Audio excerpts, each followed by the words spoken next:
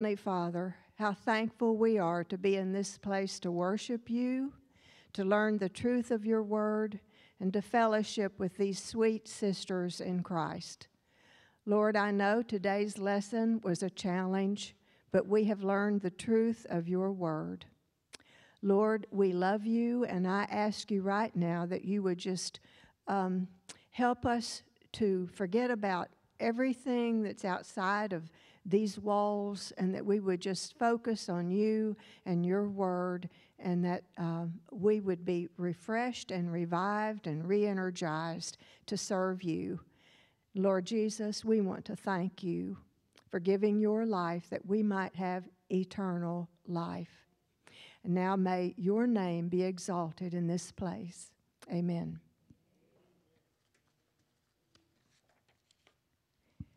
Welcome to Joy of Living Bible Study class. For those of you who are watching online, my name is Shelby Hunt, and we're studying Paul's second letter to the Thessalonians. So, will you open your Bibles, please, to Second, Second Thessalonians chapter 2.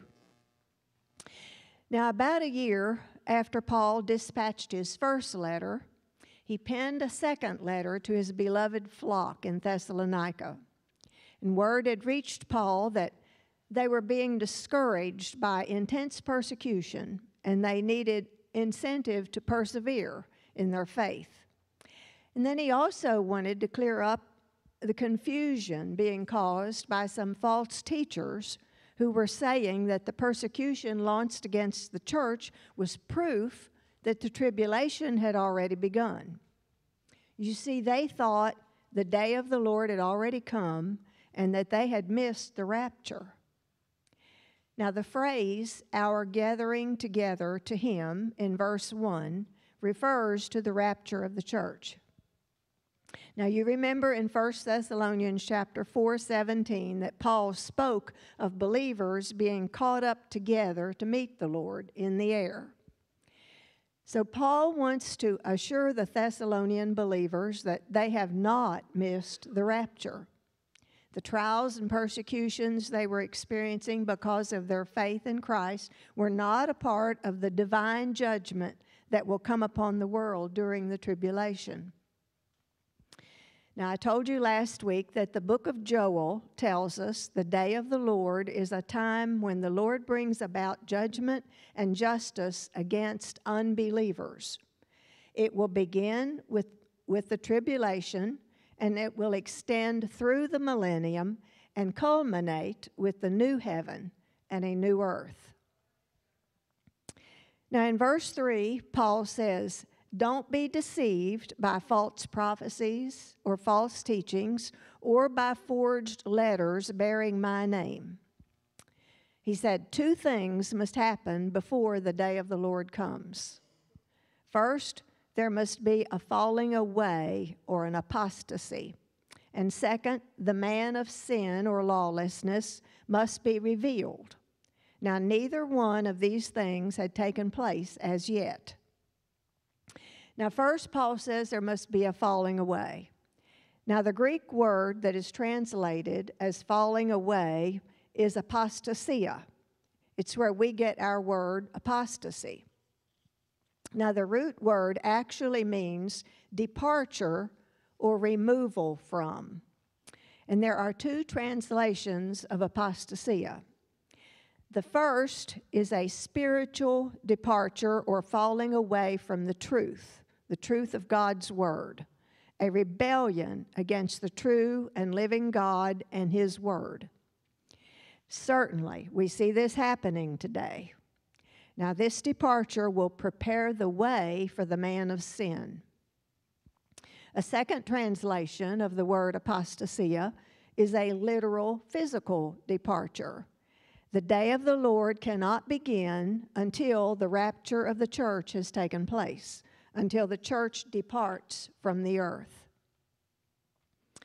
Now, the second thing which must happen before the day of the Lord is the revealing of the man of sin or lawlessness. Now, lawlessness is sin. Now, just as Christ embodies righteousness, so the man of lawlessness will embody rebellion against God's righteous law. He will make his own rules and laws. We see that happening today too. During the tribulation, God is going to allow evil to have its heyday. He's going to let the world see what it's like to have Satan for a ruler. You know, we think it's bad what is happening today, and it is. But can you imagine what it's going to be like during the tribulation? Now, John calls this man of lawlessness, lawlessness the Antichrist, but Paul designated him as the son of perdition or destruction. Now, the word perdition means waste. The same spirit that filled Judas Iscariot making him the son of perdition, will also fill the Antichrist and make him the man doomed to destruction. And that destruction is everlasting torment in the lake of fire. Now, the Antichrist is going to be Satan's man. Just as Jesus Christ is God in the flesh, the Antichrist will be Satan in a human body. He is anti God, anti Christian, and anti Christ. Now, the preposition anti can, has two meanings it can mean against, or it can mean in place of. Both of these meanings fit this man. Satan not only opposes Christ, but he wants to be worshiped instead of or in place of Christ. Now, Satan has always wanted to be worshiped. And during the tribulation, his age long ambition will be realized. He will produce his masterpiece, the Antichrist, who will cause the world to worship Satan and believe Satan's lies. The man of sin will lead the world into rebellion against God. He will perform wonders through Satan's power and finally present himself as a God to be worshiped but it will only last for seven years. Now, the Antichrist will be a gifted orator who is arrogant and boastful.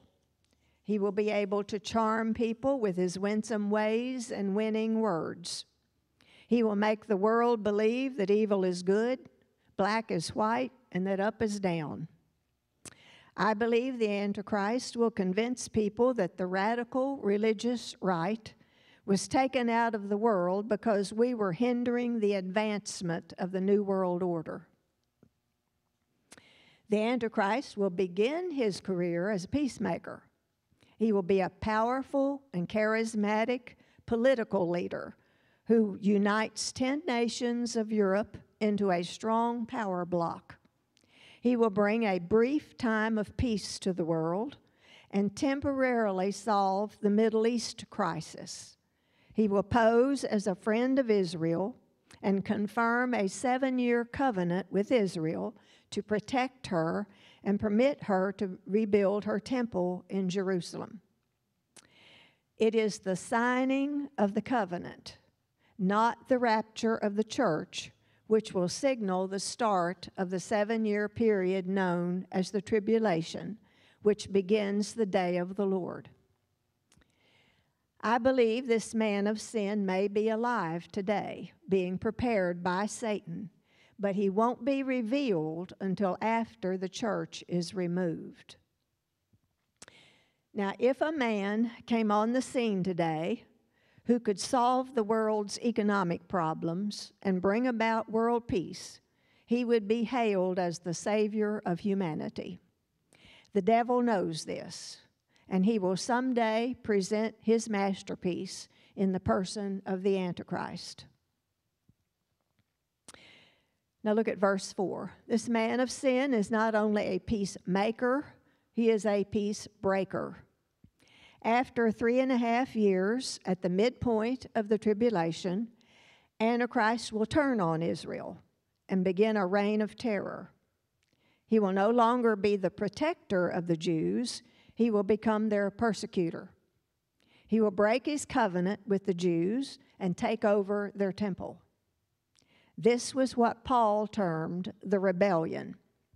It's not simply a rebellion, but the rebellion. The man of sin will declare that he is God, and he will demand that the world worship him or die. Now, since the Antichrist cannot stay in the temple all the time, the false prophet will set up an image in his honor. And this image is called the abomination of desolation, spoken of by the prophet Daniel and by Jesus in Matthew 24. Now, somehow this image will appear to be alive, and it will be so convincing that people will worship the image. I take a magazine published by Friends of Israel called Israel My Glory. And in the January February issue of Israel My Glory, there is an article titled Meet AI Jesus. Artificial intelligence has created its own Jesus, but it is not a person, it is software using voice activated technology. There is a live streaming service called Twitch and you can visit Ask Jesus on their site, and you will find a bearded, cream skinned AI Jesus looking you right in the eye. He is dressed in a hooded robe, his voice is soft and gentle, and he fields questions and even tells jokes. He says, Welcome, my children. I'm AI Jesus, here to answer your questions 24 7. Whether you're seeking spiritual guidance, looking for a friend, or simply want someone to talk to, I'm here for you. Now, believers, Jesus is alive. He doesn't need AI to speak for him. But it's easy to see how artificial intelligence will make the image of the Antichrist possible. Now, the last three and a half years of the tribulation will be a time of intense persecution when Satan will vent his wrath against Israel and Gentile believers. Many people will be saved during the tribulation, now, even though the Holy Spirit will no longer work as the restraining power, he will still work with redeeming power. However, it will cost dearly to trust Christ and live for him during that time. Antichrist will control the world's economic system and require that everyone receive his mark, the mark of the beast. You must have that to be able to buy and sell. Believers will refuse to bow down to the beast's image and they will refuse to bear his mark. So they will be unable to get jobs and buy necessities, health insurance, and many will be killed or die from starvation. Now look at verses 5 and 6. Paul says to the Thessalonians, Don't be shaken. You are not experiencing the wrath of God. This is not the day of the Lord. You did not miss the rapture because the man of lawlessness, Antichrist, has not yet come. Now, the Antichrist will come on the world scene at God's appointed time and no sooner. Just as he sent his beloved Son to earth at just the right time, in the fullness of time, God will reveal the Son of destruction in his perfect timing. God is in charge. The man of sin won't be revealed until God permits it by removing his restraining power. Now, in verse 7, the mystery of iniquity or lawlessness refers to Satan's desire to take control of the world through Antichrist. And Paul says the spirit of iniquity or lawlessness is already at work but it will be unleashed when the man of sin is revealed. Now, who or what is restraining sin or lawlessness today? Well, I believe it is God's Holy Spirit working in and through believers, the church. He will restrain lawlessness until he is taken out of the way when the church leaves the earth in the rapture. Now, does this mean the Holy Spirit will not be present on the earth during the tribulation? No, otherwise, nobody could be saved. But when the church is removed, the Holy Spirit will no longer restrain evil as he is today. The lost world will have a free rein to do as they please, and they will please Satan. Now, the only reason this world has not fallen completely into sin and ultimate judgment is because the church is here to slow down the decline. Our very presence in this world is what restrains the judgment that is yet to come. Now, just as God would not destroy the earth until Noah and his family had entered the ark, and just as God would not rain judgment on the cities of Sodom and Gomorrah until Lot and his family had first been removed, so God will not begin the last terrible judgment upon this earth until the church is removed. Now, for those of you who have the King James Version, verse 7 says, He who now letteth will let until he be taken out of the way. And I want you to notice that uh, it uses he, he, a person. The Holy Spirit is a person. Now, let is a term used in tennis. Do any of you play tennis? when I was in college, I took a beginning course in tennis. I was a terrible player. in fact, my instructor asked me if I had a hole in my racket. now, a let is a term used when a served ball bounces off or is deflected by the net. In other words, the net keeps the ball from being a fair serve. Well, so too, there is a force deflecting Satan's attempt to control the world. And this force is the Holy Spirit. The only thing keeping any degree of sanity on this planet is the Spirit working in and through the true church.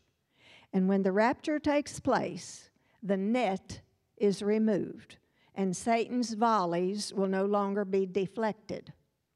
The world will plunge headlong into lawlessness, and the man of sin will be revealed. Look at verse 8. After the church is raptured, Satan will be allowed to indwell a man who will carry out his will just as Jesus carried out God's will. This wicked one is the Antichrist. He is in direct defiance to Jesus Christ. He is consumed with rebellion.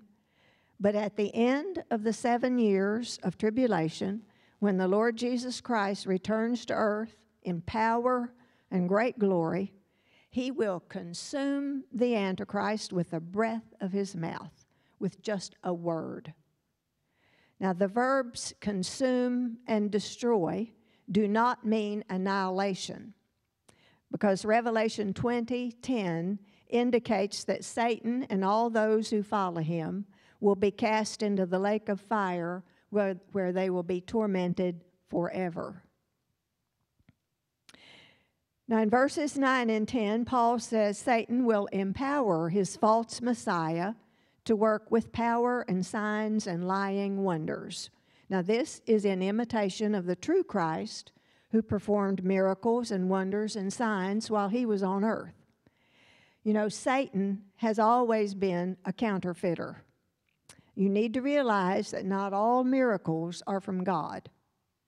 The Gospel of John tells us that Judas Iscariot performed miracles, yet he was never born again. Now, the purpose of Jesus Christ's miracles was to lead people to the truth. And the purpose of Antichrist's miracles will be to lead people to believe his lies. Paul called them lying wonders, not because the miracles are not real, but because they persuade people to believe Satan's lies. So, how can we know whether a miracle is from God or from Satan?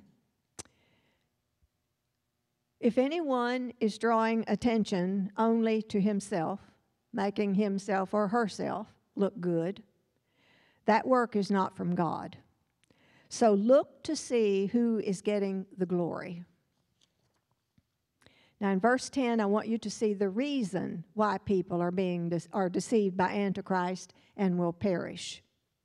They perish because they refuse to love the truth and so be saved. Now, when people refuse to believe the truth of God's word, they will believe the lies of Satan. Now, when we studied Revelation a few years ago, we learned that a great number of Jews and Gentiles will believe the truth and be saved during the tribulation. But the vast majority of the world's population will reject the truth and believe the lie. Now, a person can resist the truth to the point that he finally becomes deluded and continues to believe a lie. Now, although many who have never heard or understood the gospel will come to Christ during the tribulation, those who have heard the gospel and understood it and rejected Christ before the rapture will not receive him during the tribulation. God allows those who reject the truth to receive the lie. So, what is the lie? The lie is that Jesus is not God that he is not who he says he is, that he's not the only way to God. There is one lie that Satan has used from the very beginning to lead people astray, and he first spoke it to Eve. He said, You shall be as God. So the lie is the idea that man is his own God and can run his own life and do whatever he pleases. Paul described it in Romans 1:25. They exchanged the truth of God for the lie and worshiped and served the creature rather than the creator. Now, Paul's main point in this section was to remind the Thessalonians that there was no need to be troubled, thinking they had missed the rapture. They were destined for glory, not judgment. Now, in verses 13 and 14, Paul moves from prophecy to practical Christian living. Paul refers to the past, present, and future of our redemption. But salvation begins and ends with God. First, God loved us. God proved his love at the cross, where Jesus died for the sins of the world. You know, it amazes me that God loves us even though He knows everything about us. I'm reminded of the jingle that expresses this so well, and I quote Isn't it odd that a being like God, who sees the facade, still loves the clod he made out of sod? Now, isn't that odd? Then, second, God chose us. God chooses us not on the basis of our love for Him or any merit on our part, but because of His love for us. God takes the initiative in our salvation. However, love alone cannot save us. God loves the whole world, and yet the whole world is not saved. For God so loved the world that he gave his only begotten Son, that whosoever believeth in him should not perish, but have everlasting life. You say, Whosoever will may come. It's the whosoever wills who are the chosen ones, and the whosoever will nots are not chosen. Then, third, the purpose God has in mind in choosing us is that we might be saved. Fourth, the process is through the sanctifying work of the Spirit. Now, the word sanctify means to set apart. You are set apart from sin to Christ. When you accept Jesus Christ as your personal Savior, you are placed in Christ, and His Spirit indwells you. And this is what the Bible calls regeneration, being born again. And by the way, He has promised that His Holy Spirit will never leave us or forsake us. Fifth, the human aspect of salvation is belief in the truth. Note the balance of the Spirit and the truth, which is the Word of God. The work of the Spirit is always united with the work of the Word to convict the believer of the truth. And sixth, that truth is the gospel, the good news of Jesus Christ. Before we can believe, we must hear the gospel, and when you believe what you hear, you are changed by the Spirit. Then, seventh, God's goal is that we might share in the glory of our Lord Jesus Christ. Through the power of the Spirit, we are to prepare on this earth for a glorious future with Christ by living holy lives until he returns. Then in verse 15, Paul exhorts the Thessalonians to stand fast in the midst of persecution and to hold firmly to what he had taught them. Now, stand fast means do not move away from the truth of the gospel. Hold firmly to the truth. If we are rooted and grounded in the Word of God, we will not be carried away by every wind of doctrine. Now, when Paul used the word traditions, he's not referring to man made religious ceremonies. The word tradition simply means that which is handed down from one person to another. The truth of the gospel began as an oral message proclaimed by Christ to the apostles. Later, this truth was written down by the inspiration of the Holy Spirit, and it became Holy Scriptures. Today, when our Christian heritage is being questioned, it is vitally important that we hold firmly to the truth that the Bible is the inspired and inerrant Word of God, and we must make sure we pass this truth on to the next generation. Do you realize that we are just one generation away from total apostasy? If we don't tell our children, how will they tell their children? we have an awesome responsibility to teach the next generation the truth of God's word. 1 Corinthians 1:18 says, "For the preaching of the cross is to them that perish foolishness, but unto us which are saved it is the power of God." So we must know the truth or we will believe a lie. Now, in verses 17 and 8, uh, 16 and 17, we read Paul's desire and prayer for the Thessalonians and for us. He wanted God to encourage them and strengthen them in every good word and work. Now, if our walk contradicts our words, we lose our testimony. Our walk and our talk must agree. It's not enough to believe the truth and guard it, we must also practice it. The Word of God will lead you to do the work of God.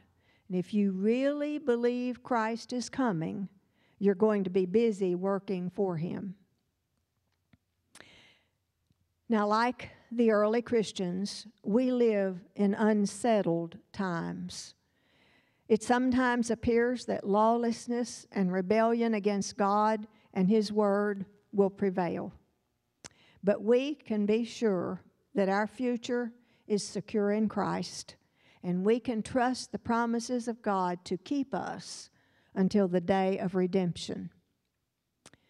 Now, the main Bible truth we need to learn from today's lesson is that although the Antichrist will oppose Christ and Christians, the true Christ will triumph over him and destroy him. We're not looking for the Antichrist.